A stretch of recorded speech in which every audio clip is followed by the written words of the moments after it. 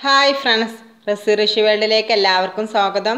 നമ്മളിവിടെ ഡിസ്കസ് ചെയ്യുന്നത് plus two തുല്യത പൊളിറ്റിക്കൽ സയൻസിന്റെ കഴിഞ്ഞ വർഷത്തെ ക്വസ്റ്റ്യൻ പേപ്പർ ആൻഡ് ആൻസറാണ് അതായത് പ്രീവിയസ് ക്വസ്റ്റ്യൻ ആൻഡ് ആൻസർ ആദ്യമായിട്ട് ചാനൽ കാണുന്നവർ സബ്സ്ക്രൈബ് ചെയ്യുക വീഡിയോ ലൈക്ക് ചെയ്യുക കമന്റ് ചെയ്യുക ഷെയർ ചെയ്യുക. ഇനി ഇരുപത്തി ഏഴാമത്തെ ക്വസ്റ്റ്യന് പരമ്പരാഗത സുരക്ഷാ സങ്കല്പത്തിന്റെ ബാഹ്യവും ആന്തരികവുമായ ധാരണകൾ വിവരിക്കുക. അതിന്റെ ആൻസർ പേജ് തൊണ്ണൂറ്റൊമ്പത് നൂറ് നൂറ്റൊന്നിലായിട്ട് പാർട്ട് ടൂവിലുണ്ട് പരമ്പരാഗത സുരക്ഷാ സങ്കല്പം അനുസരിച്ച് ഒരു രാജ്യം നേരിടുന്ന ഏറ്റവും വലിയ ഭീഷണി മറ്റൊരു രാജ്യത്തിൽ നിന്നുള്ള സൈനിക ഭീഷണിയാണ്.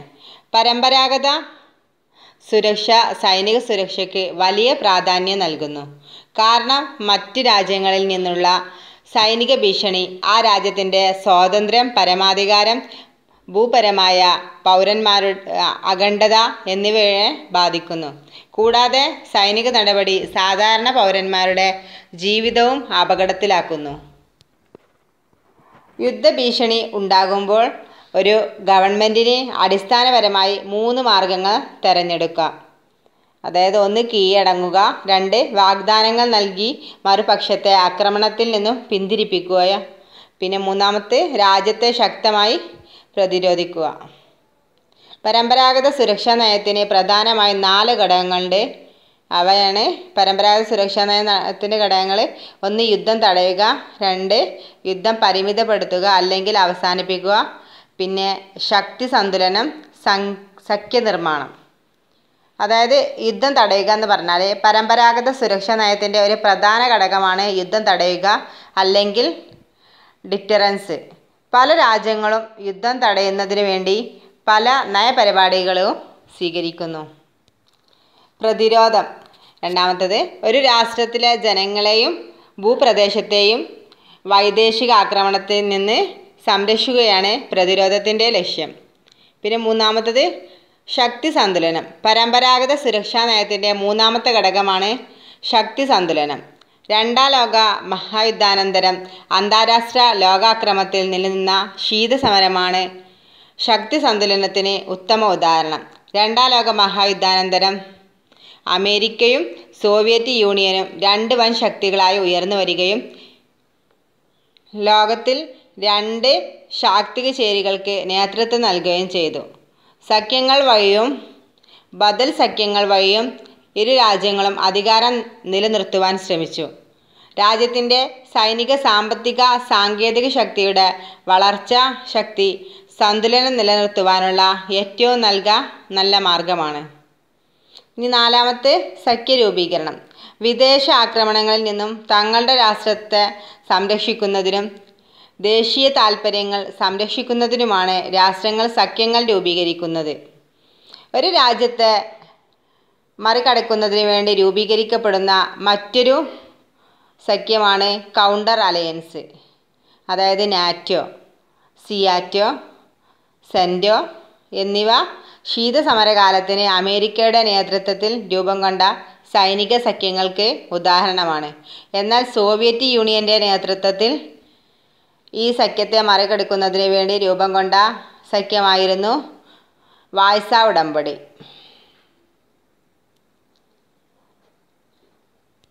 പരമ്പരാഗത സുരക്ഷ ആഭ്യന്തര സുരക്ഷയുമായും ബന്ധപ്പെട്ടിരിക്കുന്നു. അതായത് ആന്തരികമായ സുരക്ഷ. ആന്തരികമായ അതിക്രമങ്ങളോ ആക്രമണ ഭീഷണിയോ ഉണ്ടാകുമ്പോൾ ഒരു സമൂഹത്തിന് സുരക്ഷ ലഭിക്കുകയില്ല. അതിർത്തിക്കുള്ളിൽ സുരക്ഷയില്ലെങ്കിൽ അതിർത്തിക്കപ്പുറത്തു നിന്നുള്ള അതിക്രമങ്ങളെ നേരിടാൻ രാജ്യത്തിന് കഴിയുകയില്ല. രണ്ടാം ലോക മഹായുദ്ധത്തിനു മുമ്പുള്ള കാലഘട്ടത്തിൽ ആഭ്യന്തര സുരക്ഷ ഉറപ്പുവരുത്തുന്നതിന് രാജ്യങ്ങൾ പ്രത്യേക ഊന്നൽ നൽകിയിരുന്നു. എന്നാൽ യുദ്ധാനന്തരം ഈ സാഹചര്യത്തിനു മാറ്റം വന്നു. യുദ്ധാനന്തരം വൻ ശക്തികളായി ഉയർന്നു വന്ന അമേരിക്കയ്ക്കും സോവിയറ്റ് യൂണിയനും അവരുടെ അതിർത്തിക്കുള്ളിൽ സമാധാനപരമായ ഒരു അന്തരീക്ഷം സൃഷ്ടിക്കാൻ സാധിച്ചതാണിതിനുള്ള കാരണം. ഈ കാലയളവിൽ മിക്ക യൂറോപ്യൻ രാജ്യങ്ങളും അവരുടെ അതിർത്തിക്കുള്ളിൽ ഉണ്ടായിരുന്ന ഗ്രൂപ്പുകളിൽ നിന്നോ സമുദായങ്ങളിൽ നിന്നോ ഗൗരവമായ ഭീഷണികളൊന്നും നേരിട്ടിരുന്നില്ല. അതിനാൽ ബാഹ്യ ഭീഷണികൾക്കാണ് ഈ കാലയളവിൽ രാജ്യങ്ങൾ പ്രാധാന്യം നൽകിയത്. എന്നാൽ രണ്ടാം ലോക യുദ്ധ മഹായുദ്ധത്തിനു ശേഷം പുതുതായി സ്വാതന്ത്ര്യം നേടിയ ഏഷ്യയിലെയും ആഫ്രിക്കയിലെയും രാജ്യങ്ങൾ നേരിട്ട വെല്ലുവിളി വെല്ലുവിളികൾ യൂറോപ്പിലെ വെല്ലുവിളികളിൽ നിന്നും രണ്ട് തരത്തിൽ വ്യത്യസ്തമായിരുന്നു. ഒന്നാമതായി പുതിയ രാജ്യങ്ങൾ അയൽ രാജ്യങ്ങളുമായുള്ള സൈനിക പോരാട്ട സൈനിക പോരാട്ടത്തിന്റെ സാധ്യതകളെ നേരിട്ടു.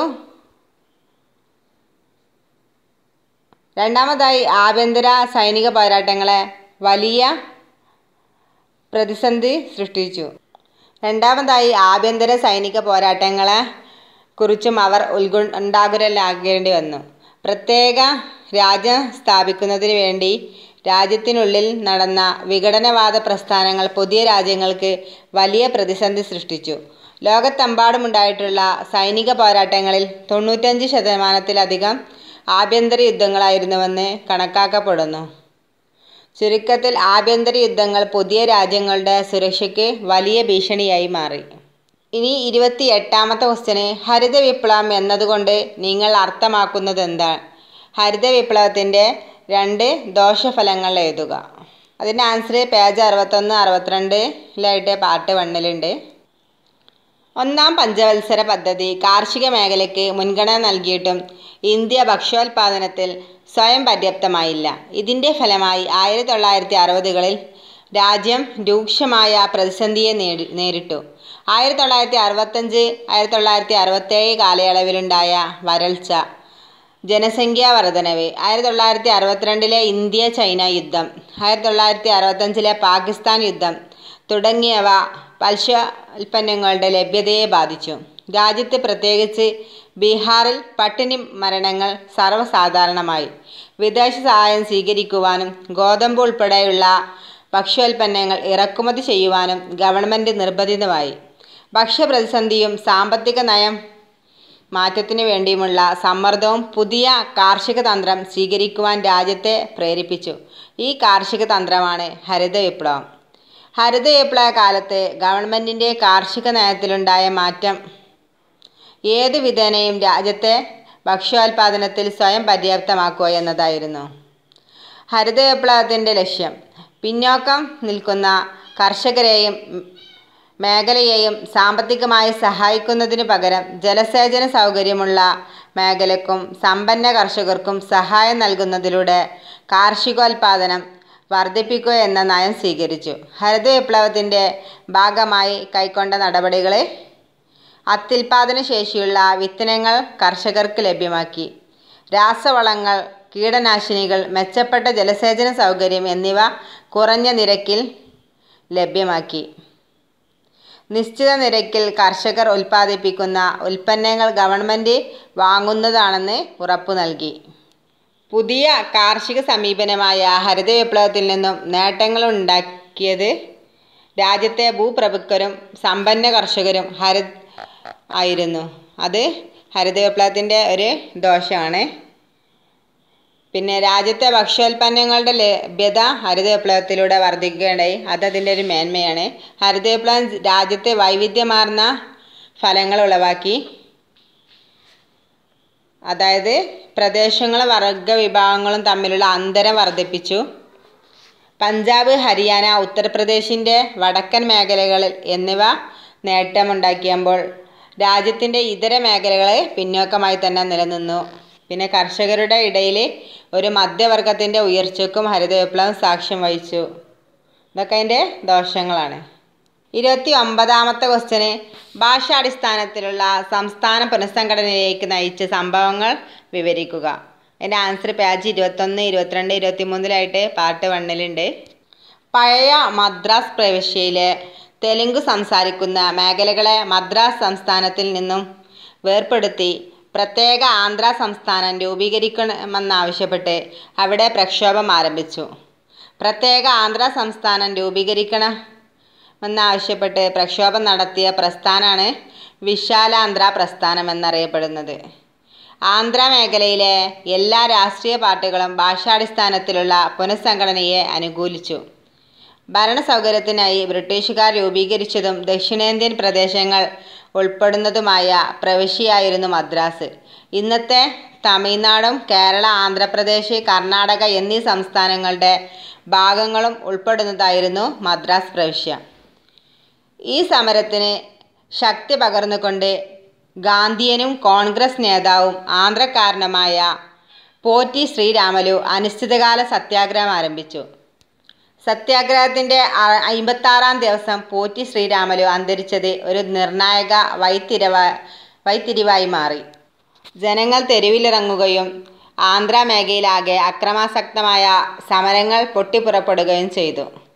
ഇതിന്റെ എല്ലാം ഫലമായി ആയിരത്തി തൊള്ളായിരത്തി അൻപത്തിരണ്ട് ഡിസംബറിൽ പ്രത്യേക ആന്ധ്ര സംസ്ഥാനം രൂപീകരിക്കാൻ കേന്ദ്ര ഗവൺമെന്റ് തീരുമാനിച്ചു. ആന്ധ്ര സംസ്ഥാനത്തിന്റെ രൂപീകരണം ഭാഷാടിസ്ഥാനത്തിൽ സംസ്ഥാനങ്ങൾ രൂപീകരിക്കുന്നതിനുള്ള സമരം രാജ്യത്തിന്റെ മറ്റ് ഭാഗങ്ങളിലേക്കും പടർന്നു പിടിക്കുവാൻ ഇടയാക്കി.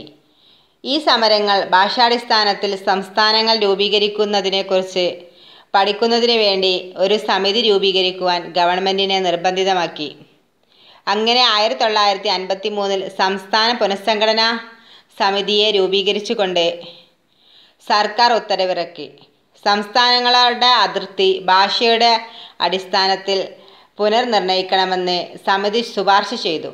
സമിതിയുടെ റിപ്പോർട്ടിന്റെ അടിസ്ഥാനത്തിൽ സംസ്ഥാന പുനഃസംഘടനാ നിയമം ആയിരത്തി തൊള്ളായിരത്തി അൻപത്തി പാസാക്കി.